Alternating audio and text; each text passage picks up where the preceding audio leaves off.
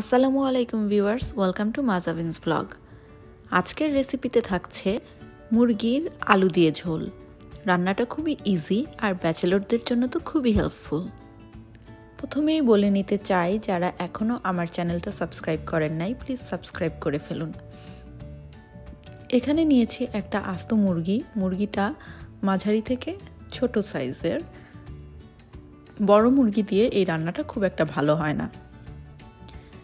প্যানটা গরম করে প্যানে তেল দিয়ে দিতে হবে। তেলটা গরম করে নিতে হবে। তেলটা গরম হলে চুলার আঁচটা মিডিয়ামে দিয়ে নিতে হবে। তারপর দিয়ে দিব গরম মশলা, এলাচি, দারচিনি, তেজপাতা, লবঙ্গ।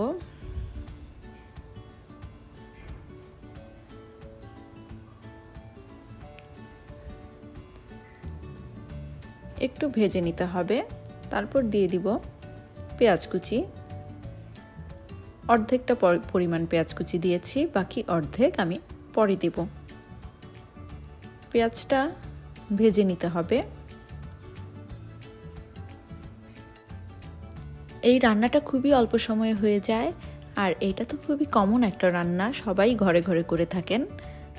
তবে এই রেসিপিটা ফলো করে দেখতে পারেন পারফেক্ট একটা টেস্ট পাবেন। পেঁয়াজটা ব্রাউন করে ভেজে নিতে হবে।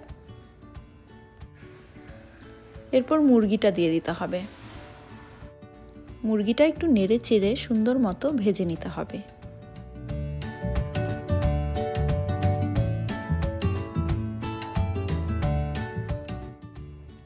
মাংসটা একটু ভাজা হয়ে গেলে মশলা দিয়ে নিতে হবে। দিয়ে দিচ্ছে আদা রসুন বাটা, এক টেবিল চামচ পরিমাণ। জিরা পেস্ট, এক চা চামচ পরিমাণ।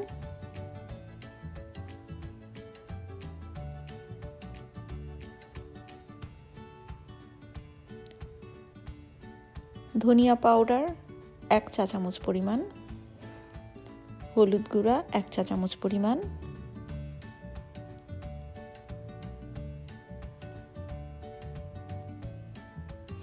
মরিচ গুঁড়া, দেড় চা চামচ পরিমাণ। মশলাগুলো খুব ভালো মতো মাংসের সাথে মিশিয়ে নিতে হবে। লবণও দিয়ে নিতে হবে পরিমাণ মতো। আপনারা আমাকে ফলো করতে পারেন ফেসবুক পেজে পেজের লিঙ্কটা আমি ডেসক্রিপশন বক্সে দিয়ে দিব। আসলে এইভাবে মুরগিটা প্রায়ই রান্না করা হয়। বিশেষ করে যখন আমি এই ছোট ধরনের মুরগি আনি, তখন এভাবে রান্না করতেই পছন্দ করি। বাকি পেঁয়াজটা দিয়ে দিচ্ছি।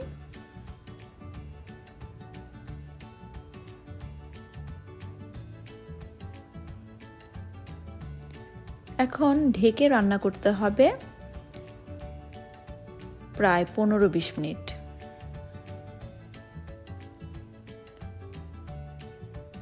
মশলাটা একদম কষানো হয়ে গেলে আলু দিয়ে দিতে হবে। খুব সুন্দর একটা স্মেল বের হয়েছে। আসলে মাংস থেকে যে পানিটা বের হয়, সেটাতে মশলাটা কষানো হয়ে যায়। বাইরে থেকে কোনো পানি অ্যাড করতে হয় না। অল্প আছে, কিছুক্ষণ রান্না করার পর দেখা যাবে যে রঙটা আর গন্ধটা একদম পারফেক্ট হয়েছে। এক কাপ পানি ওভেনে গরম করে আমি একটু গরম পানি অ্যাড করে দিচ্ছি।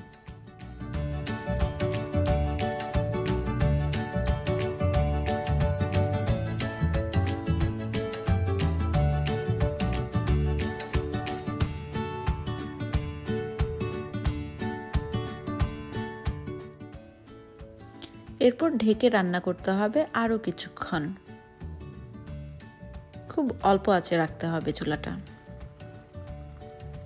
দেখুন অলমোস্ট হয়ে গেছে। আমি দুই তিনটা কাঁচামরিচও অ্যাড করে দিয়েছি। তৈরি হয়ে গেল খুবই মজাদার মুরগির মাংসের ঝোল আলু দিয়ে। আশা করি আপনারা রান্নাটা এইভাবে ট্রাই করে দেখবেন। কেমন লাগল অবশ্যই কমেন্টে জানাবেন।